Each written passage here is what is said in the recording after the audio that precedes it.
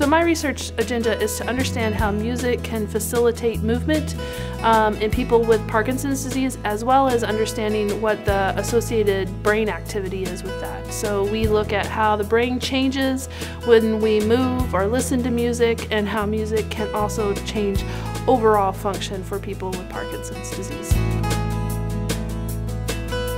I would say what drives me the most is working with the people with Parkinson's disease and how much they appreciate all of the help and the information that we can provide. Uh, working with them on with our many outreach programs is pretty much the best part of my job and the best part of my week. Uh, my grandmother made a baby quilt for every single member of the family and she had uh, 14 grandkids, 30 great grandkids, and five great great grandkids that she met before she passed away. And so she taught me how to quilt and I have kept up that tradition and have made uh, baby quilts for both my daughters and for any new uh, young babies that are on our side of the family.